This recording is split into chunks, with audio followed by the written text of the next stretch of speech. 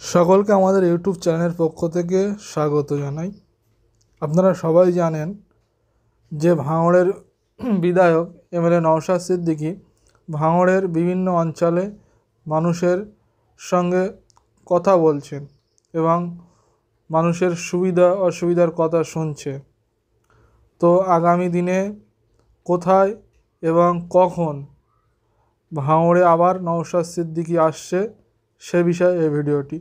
তো অবশ্যই ভিডিওটি প্রথম থেকে শেষ পর্যন্ত আপনারা দেখবেন। শুরু করছি আজকের ভিডিও।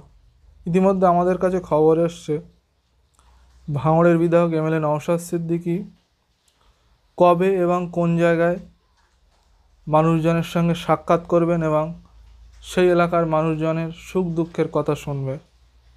তো তা- আপনাদের এমএলএর কাছে আপনাদের সুখ দুঃখের কথা জানাতে চান।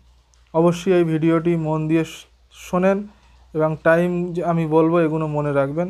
কোন জায়গা বলে দেবো এটাও আপনারা মনে রাখবেন। আগামী আটই সেপ্টেম্বর বুধবার বামনঘাটা অঞ্চলে জনসংযোগে থাকছে ভাঙড়ের বিধায়ক এমএলএ নওশাদ সিদ্দিকী।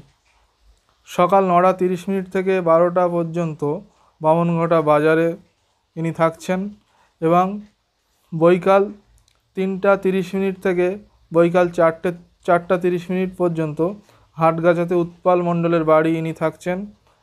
সেই বাড়ি থেকে সেই এলাকার মানুষজনের সঙ্গে কথা বলবেন এবং মানুষজনের সুখ দুঃখের কথা শুনবেন।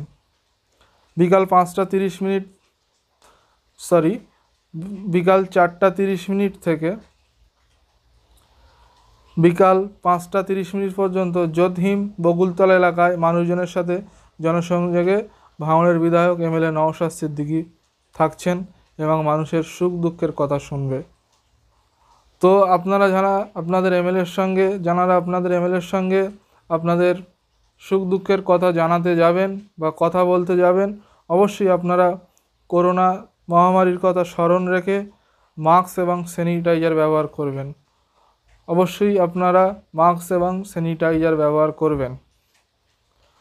তো ভাঙড়বাসী আপনাদের কাছে এটা খুব এটা খুব গর্বের বিষয় যে আপনাদের এমএলএ আপনাদের এলাকায় এসে আপনাদের সুখ দুঃখের কথা শুনছে। এটা খুব আপনাদের জন্য গর্বের বিষয়। তো এখানে আমাদের ভিডিও আজকে শেষ করছি। অবশ্যই ভালো লাগলে ভিডিওটি লাইক, কমেন্ট এবং শেয়ার করতে ভুলবেন না।